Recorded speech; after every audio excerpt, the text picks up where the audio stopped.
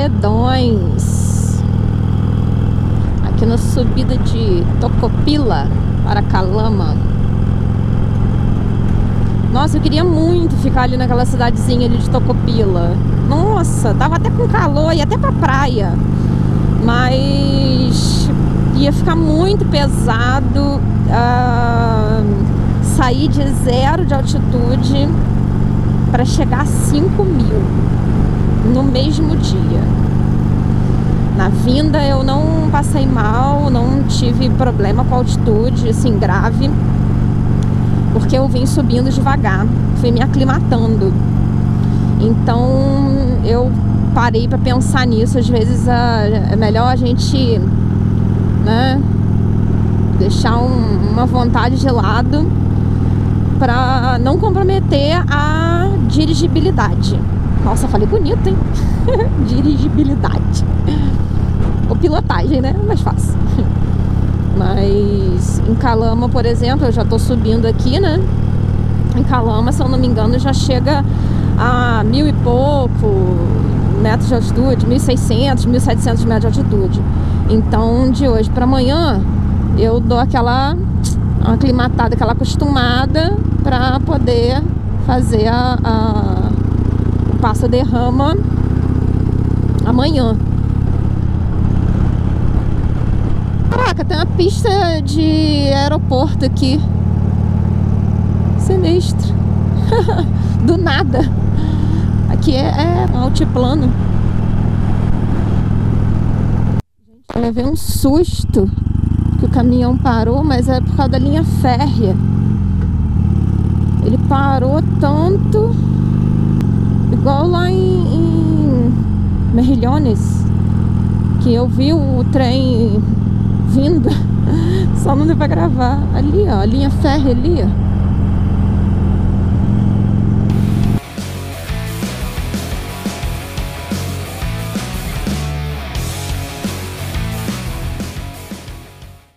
Bom, aqui eu vou cruzar a Pan-Americana, a Ruta 5. E continuo direto para Calama.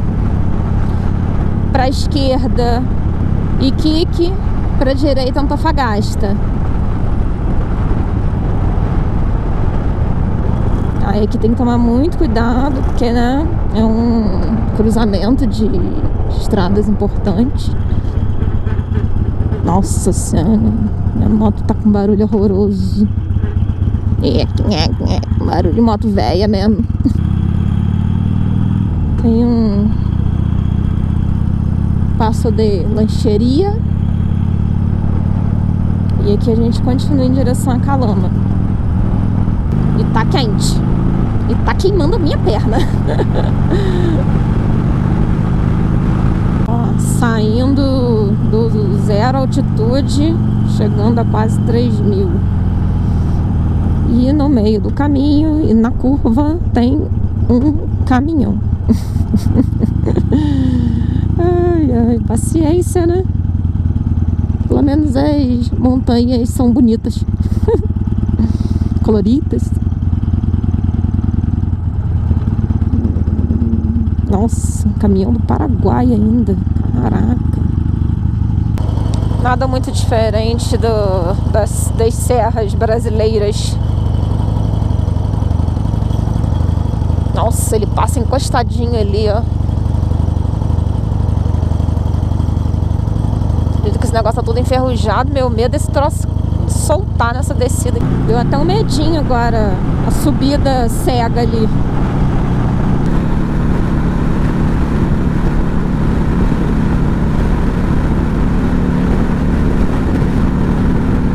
Que horas?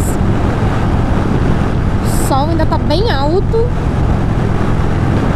Mas mesmo assim, a gente vai chegando ao final de um belíssimo dia na estrada, percorrendo ali o litoral do Pacífico. Foi muito agradável, muito legal, gostei demais. E até amanhã. Bom dia a todos. Estamos saindo aqui hoje do Hostel Jalala. Hostel muito bom, é bem barato. Preferi ficar aqui do que subir para São Pedro ontem, porque a hospedagem aqui é mais barata. Ah, são quartos individuais, só com banheiro coletivo. É 8 mil pesos chilenos, cara, muito barato. Sim, pelo que eu tava pagando, tava muito barato. Evelyn, ali com a sua madre, que são as donas e, e organizam tudo. São muito receptivas, tudo muito novinho, tudo bonitinho. Tchau, queridas! Fiquem com Deus! Obrigada! Para chegar em São Pedro de Atacama, lá um novo abastecimento.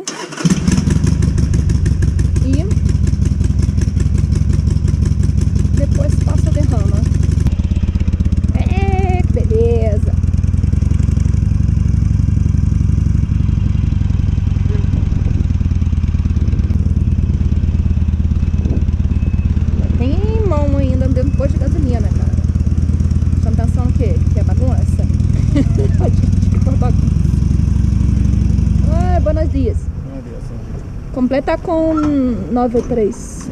Por favor. Abastecimento ah, patrocinado até que enfim por senhor Filipec. Tô falando besteira, né? Filipec me ajudou muito nessa viagem.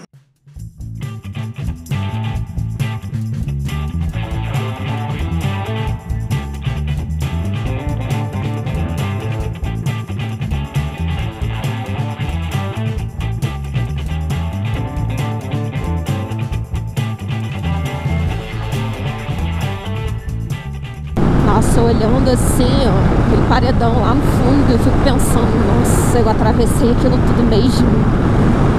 É muito alto. Ó, tô chegando em São Pedro. É, eu vou aproveitar para passar aqui num monumento uh, que representa a dualidade. A dualidade das coisas, a dualidade da vida. Vocês sabem, nessas coisas de artista. Eles têm que respeitar. Desligar, baby. Ai. Aqui já não tá tão frio. Deixa eu ver se dá pra subir. Ai. Ah.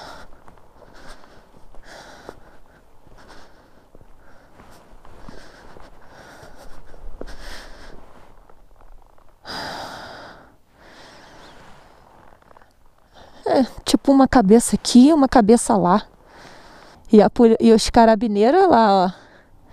Aí, na boa, eu, eu não ia entrar não, mas eu entrei só porque eles iam me parar. Eles vão me parar, eu tenho certeza. Ai.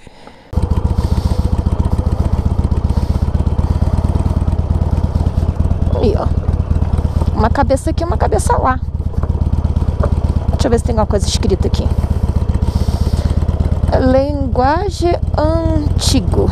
Este geoglifo foi construído por as comunidades indígenas do povo atacamenho do deserto do Atacama. A construção foi facilitada por el Conselho de Povos, ah, pelo Conselho de Povos Atacamenhos. Que eu fui nas lagunas escondidas, ah, é esse caminho aqui. E ali onde tem aqueles morrinhos ali, um pouquinho depois, tem umas placas dizendo que é para ter cuidado, que é para não entrar, porque é um campo minado. Aí eu fiquei assim, né? Olhei pro Gui e falei assim, mas como assim campo minado? Aí ele falou, não, isso aqui ainda é da época da guerra com a, a Bolívia e o Peru, né? principalmente com a Bolívia, por conta da hum, saída para o mar. Né? Que aí Peru e, e, e Chile tem essa saída para o Pacífico. E a Bolívia, numa, num período, é, no século passado, fez essa, essa, essa guerra. E esse trecho aqui era a antiga, o antigo caminho para Bolívia, né? Que é de Calama. Eu falei, cara, como assim aqui no meio do deserto ter campo minado? Pô, eu, eu, depois eu vou até dar uma pesquisada sobre isso. Muito interessante. Os carabineiros ali, ó. Doido pra me pegar. Até baixar o, a viseira. Vou passar de fininho. Pelo outro lado.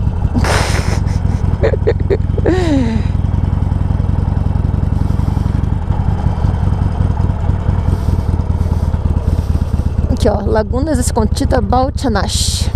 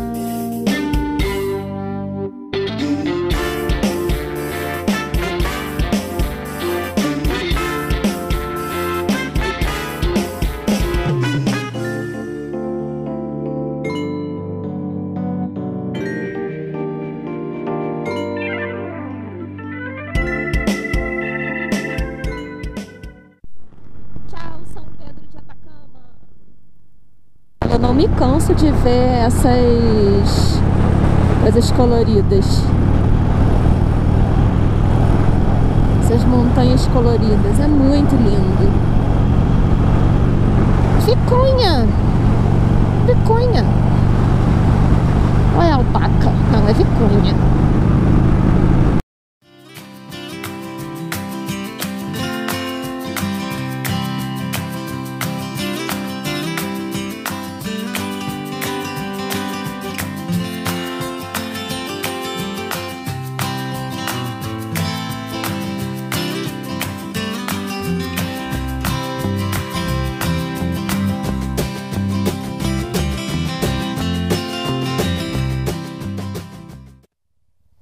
Vamos ver se tá gelada. É, tá muito não.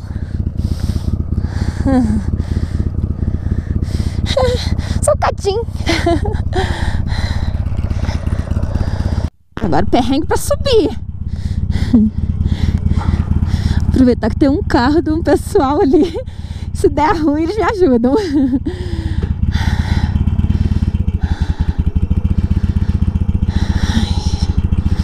Quatro mil quinhentos cinquenta metros de altitude. Nossa, que lindo, que lindo aqui. Essa por ali não tá mais alta, aqui tá mais baixo. A família ali.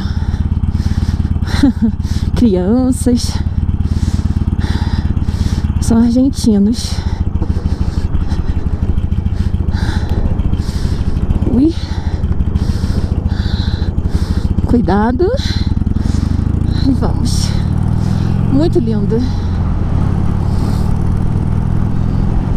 Você tem que tirar, sair bem cedo para poder fazer essa travessia, porque não tem como você não parar pra admirar um pouco, sentir, né? Sentir ali a água, a, a areia, cara, sei lá. É meio. Sei. Eu acho, eu acho que eu que sou meio boba, assim. Mas eu gosto.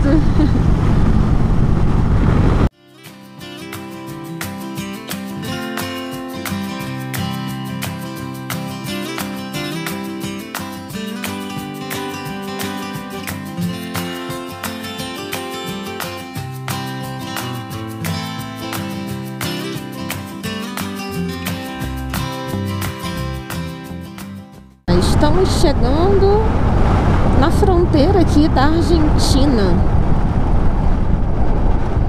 Olha o salar, que lindo.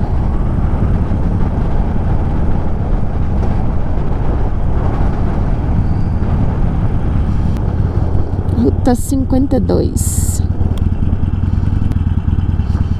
Eita, segura.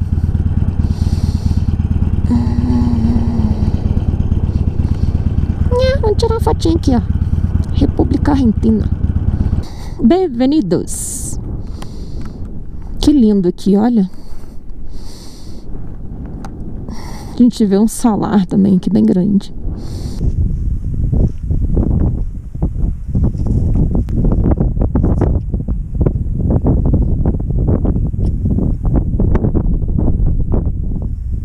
Aqui do lado direito é a fronteira argentina.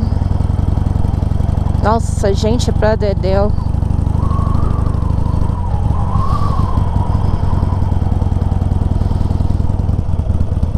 Os coleguinhas ali.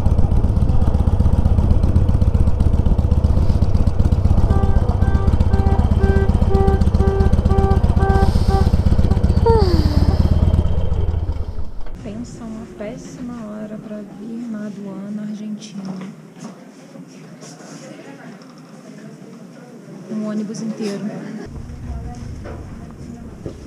Não venha no horário do almoço. Então,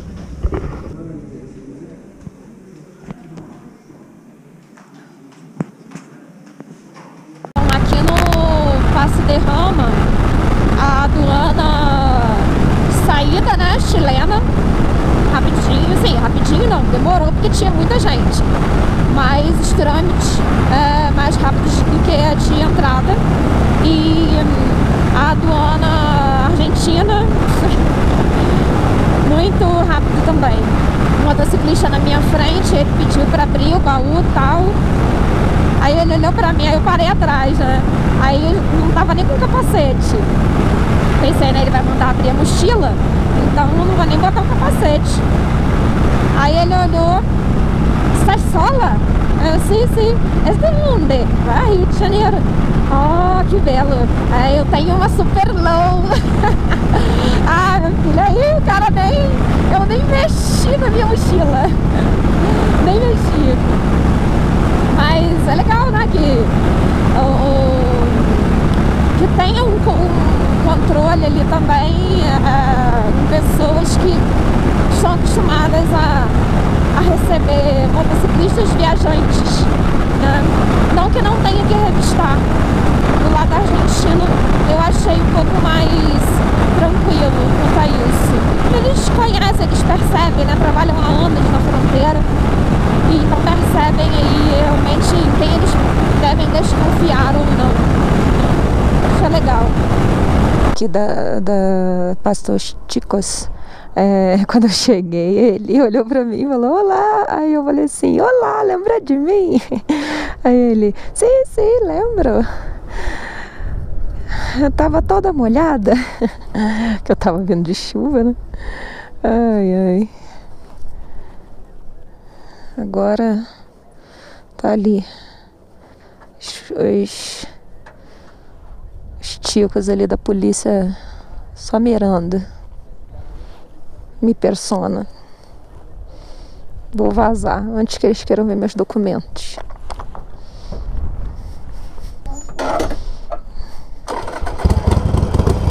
Vamos, baby. Nem sei por onde é pior. Nossa senhora, essa pedra aqui é um. Que é o Bastos Chicos. Hoje tá mais vazio. Aqui já é a vilazinha de Suskis, né? O, o- aquele postinho de gasolina fica outro lugar. Aqui, ó, tem informação turística. Nessa vilinha também tem muitos quartos para passar a noite. Eu achava que só tinha lá o Passo dos Ticos. Mas não, aqui também tem. Não sei o preço. Não sei o preço, não perguntei. Para quem estiver pretendendo fazer essa rota e não quiser, eu, por exemplo, aquele dia podia ter vindo até aqui, é, vindo de uma marca. Não vim, fiquei por uma marca, por quê? Porque eu só tinha um telefone lá do Pasto dos. E aí a moça falou que não tinha vaga nenhuma, que estava cheio, estava lotado. Se for final de semana, vai estar um pouco mais cheio. Fora de final de semana, vai estar mais tranquilo.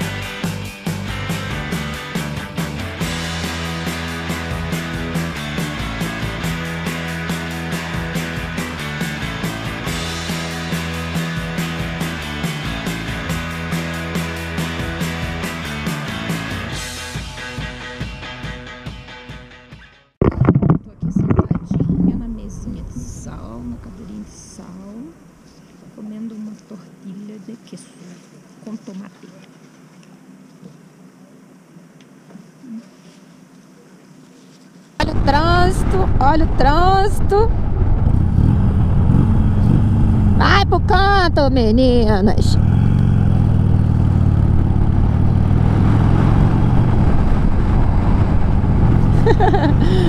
Nem comentei com vocês, é, eu curiosa do jeito que sou, perguntei lá na aduana se eles trabalhavam lá.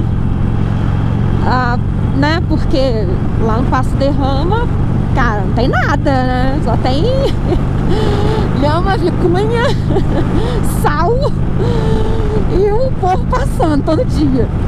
Aí, olha que lindo, E aí a, uma das atendentes lá, assim, eu me perguntei para aquela que tava com a cara mais simpática. Se eles moravam lá. Aí ela me respondeu, não, não, não. Eles ficam lá oito dias. Eu acho que é oito por oito. Apreciem essa lindeza. Nossa, muito linda essas montanhas, gente. Muito linda. Quero pintar um, um assim, lá no meu quarto pra ficar olhando. Vou fazer um pôster, uma foto, assim Ai, meu Deus. Ai, eu já surtando. Deve ser o mal de Puno. Ai, mal de altitude, fazendo eu delirar. Como é que ela vai fazendo a curva? Muito bonito. Tá vendo, baby? Muito bonito. Vou tirar uma foto, não tem como. Cuesta de Lipan. Olha que lindo, gente. Nossa, é muito bonita.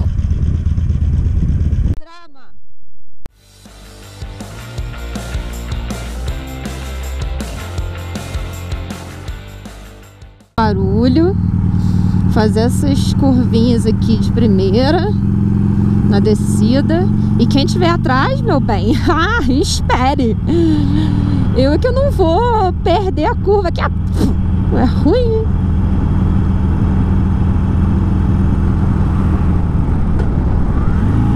Ó, nem mexi no freio, só reduzir para primeira.